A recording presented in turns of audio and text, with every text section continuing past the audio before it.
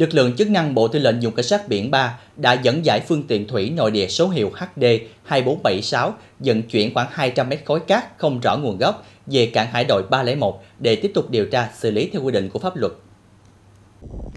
Trước đó vào khoảng 1 giờ ngày 23 tháng 5, trên khu vực biển cách cửa Hàm Luông, tỉnh Bến Tre về phía đông khoảng 20 hải lý, lực lượng chức năng Bộ Tư lệnh dùng cảnh sát biển 3 phát hiện và tiến hành kiểm tra phương tiện thủy nội địa số hiệu HD 2476 có số đăng kiểm V3401698. Tại thời điểm kiểm tra, trên phương tiện này có 6 thuyền viên do ông Vũ Giang Bảy, sinh năm 1979, trú quán tại xã Minh Hòa, huyện Kim Môn, tỉnh Hải Dương làm thuyền trưởng. Theo lời khai ban đầu của ông Bảy, trên phương tiện đang chở khoảng 200 mét khối cát nhưng không có giấy tờ chứng minh hợp pháp theo quy định của pháp luật. Hiện lực lượng chức năng của Bộ Tư lệnh dùng Cảnh sát biển 3 đang tiếp tục điều tra và xử lý theo quy định của pháp luật.